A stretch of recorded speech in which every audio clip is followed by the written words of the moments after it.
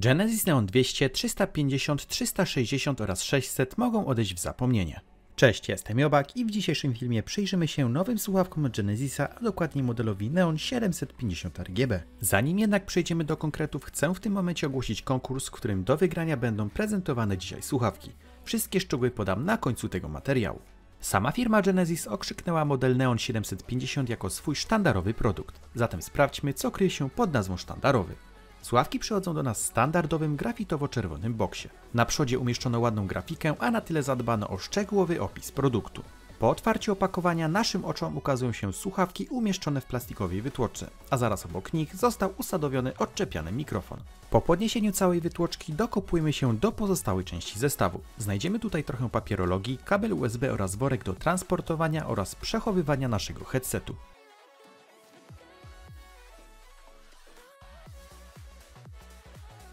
Genesis Neon 750 to wokółuszne słuchawki przewodowe wyposażone w 50 mm przetworniki oraz odpinany dookulny mikrofon na bardzo elastycznym ramieniu. Pasmo przenoszenia słuchawek to standardowe od 20 do 20 tysięcy Hz, a dynamika przetwornika wynosi 106 dB. Pasmo przenoszenia mikrofonu to już z kolei od 100 do 16 tysięcy Hz.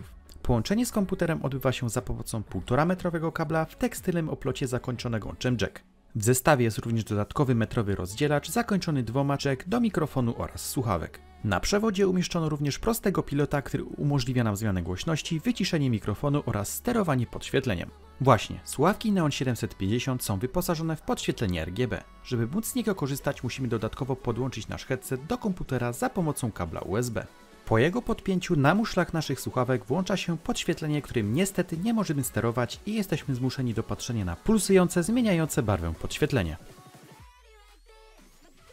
Jeśli chodzi o jakość wykonania, to stoi ona na całkiem dobrym poziomie. Pałąk wykonano z lekkiego aluminium, przez co jest on elastyczny i mniej podatny na pęknięcie.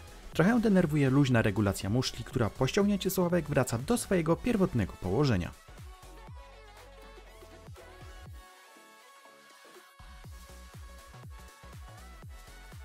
Obicie pałąka oraz nauszników zostało wykonane z miękkiej gąbki zamaskowanej, jak twierdzi Genesis, skórką klasy premium.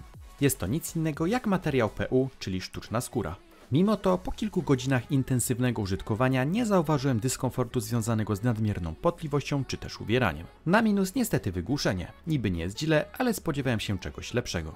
Sam dźwięk wydostający się z tych słuchawek jest całkiem niezły. Dobry bas, dobry wokal oraz ponadprzeciętne tony średnie. Mikrofon zestawu też jest w zupełności wystarczający. Co prawda hitu radiowego nim nie nagram, ale do rozgrywki z kumplami wystarczy w zupełności. A zresztą posłuchajcie. Słuchawki Neo 750 RGB wzbogacono o odpinany mikrofon dookulny, który dzięki wygłuszeniu szumów z otoczenia zapewni, że Twoi rozmówcy usłyszą dokładnie to, co chcesz im przekazać.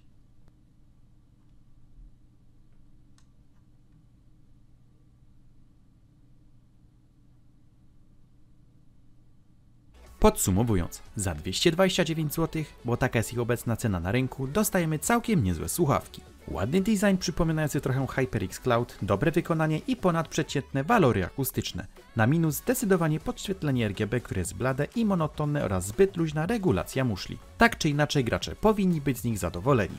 Tak jak wspomniałem na początku, słuchawki z dzisiejszego filmu będzie można wygrać w konkursie. Aby wziąć w nim udział trzeba być subskrybentem kanału, dać łapkę w górę pod tym filmem oraz napisać komentarz hashtag Genesis. Wyniki losowania zostaną ogłoszone w niedzielę 11 lipca o godzinie 12.00 na karcie społeczności. To by było na tyle w tym materiale. Ja się z Wami żegnam i życzę powodzenia w konkursie. Cześć!